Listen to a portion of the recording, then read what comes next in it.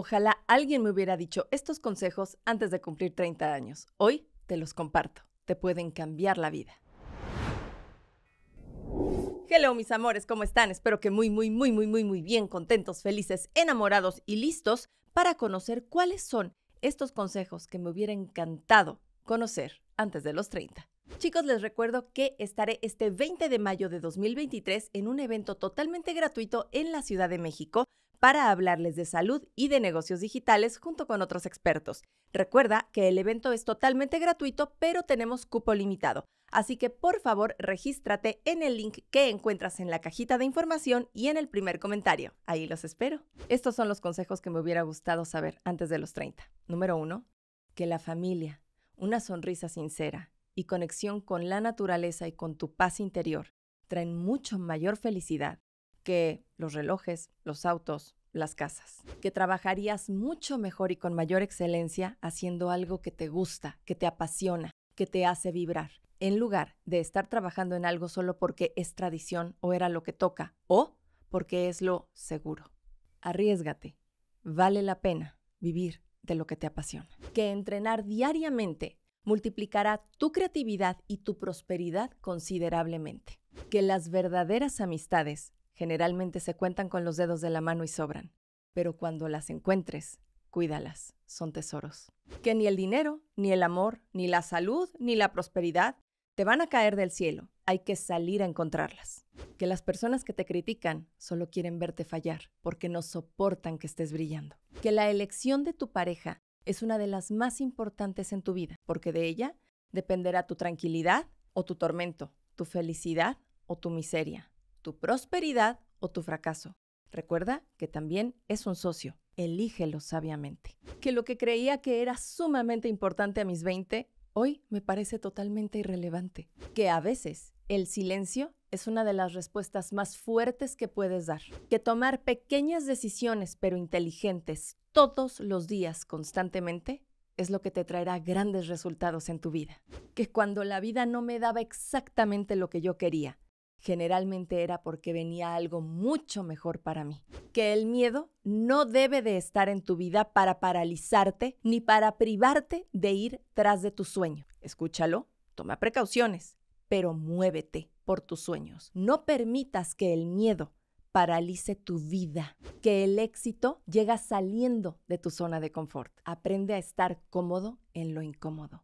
Que si arriesgaste todo por amor y no funcionó, realmente no perdiste tan solo si decides aprender de esta experiencia y utilizarla para tu crecimiento personal. ¿Qué edad? No es igual a madurez.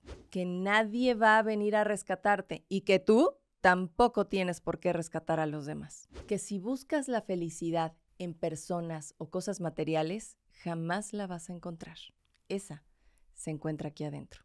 Que para realmente tener paz interior hay que trabajar con tu niño herido. Eso te libera pero sobre todo te empodera.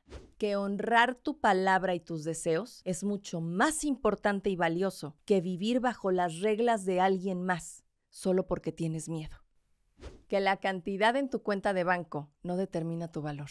Y hablando del dinero, que hay que aprender cómo hacer que el dinero trabaje para ti y no al revés, créeme. Es mucho más sencillo de lo que nos han hecho creer. Que el dinero es energía. Trátalo como tal y sana tu relación con él. Que una pareja es el reflejo de lo que tienes dentro. Trabaja en ti primero para ser la pareja que quieres.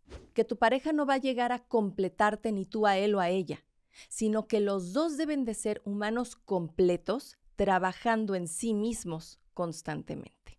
Que hay que escuchar más consejos de las personas mayores.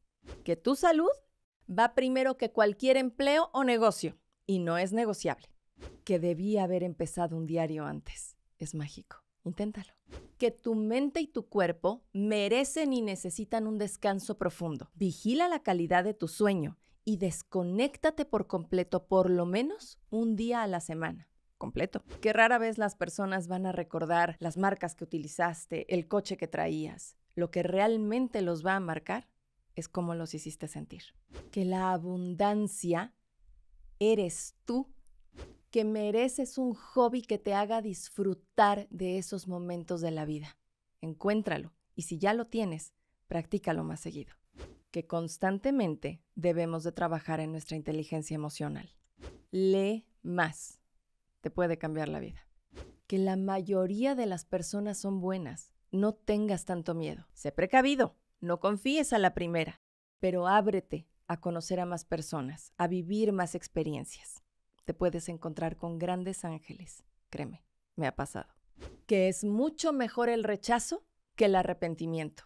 Es decir, es muchísimo mejor ir a buscar la oportunidad y que te digan que no, a haberte quedado con la duda. Puedes con el rechazo. Con el que hubiera pasado sí, es mucho más difícil vivir. Atrévete, lánzate. El no ya lo tienes, ve por el sí. Que la vida es muy corta para vivir con miedo y con historias mal contadas. Que sí somos lo que comemos y bebemos. Cuídate. Que la prevención es una de las mejores medicinas. Chécate anualmente. Que una meta que no está escrita en papel es simplemente una fantasía. Escribe tus metas. Que lo que dice Juan de Pedro dice más de Juan que de Pedro. Y por último, pero no menos importante, ojalá que a los 30 o antes de los 30 yo hubiera comprendido lo poderosa que es esta frase. La historia que te cuentas, manifiestas. Cuéntenme, mis amores, qué otro consejo o regla de vida les hubiera encantado saber antes de los 30. Y si quieres más consejos que no me pediste pero que te van a servir, te dejo este video a continuación. Y ahora sí me voy, mis amores, como siempre. Les mando un beso enorme y nos vemos muy muy pronto.